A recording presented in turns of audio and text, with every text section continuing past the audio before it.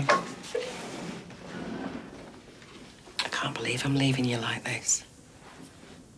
I'm sorry. Don't, You love me at it. Yeah, me too. I've torn us apart. Again. Just when you needed me the most, I've gone. That's enough, the pair yeah? I know you're worried, and we will miss you, but we'll see each other again soon. Gems were made for the foreseeable, so we can keep an eye on each other until then. It should be sooner rather than later, yeah? Yeah? Yeah. Promise. Promise. Hey? What do you think of my frock?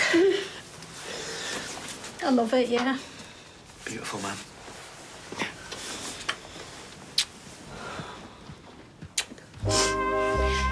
Passing sentence, I have considered your strong mitigation, as I understand that your son is terminally ill. Whilst I sympathise with you and can only imagine how difficult your circumstances are, I'm sure you will understand that I have a responsibility to uphold the law and to keep society safe from criminality. Having taken everything into consideration, a high level community order may have sufficed. However, I cannot ignore the aggravating factors in this case. You played a significant role in this offence and took advantage of a terminally ill female for your own financial gain. You also embroiled an innocent man into this conspiracy. Oh, Big Gaff, you're joking, aren't you? Shh. Thank you.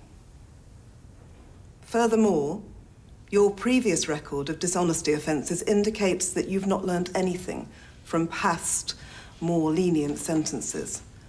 To this end, I find I have no other alternative than to sentence you, after credit for plea, to an immediate sentence of three months, of which you will serve at least half before being released.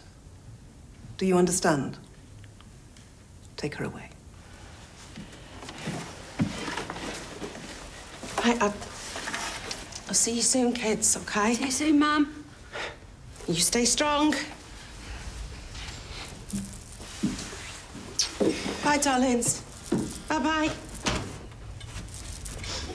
See Leanne's face when he asked her for tap water.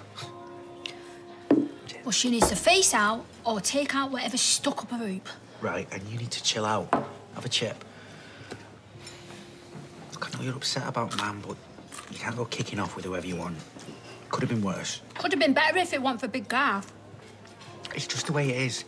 We're just gonna have to deal with it. No, it's not right. Mum's banged up well. Big Gaff's out there doing whatever he wants. It's not on. She'll be back with us soon enough. She should be here now for Christmas. Right, listen to me. You need to be in the right frame of mind for when social services come round later, yeah? Chesney needs you at your best. And there's no point getting worked up over something you can't change. Believe me. I know that, but what about Mum? No buts, right? We're gonna chill out. I'm gonna eat some fries, yeah? Right. Water?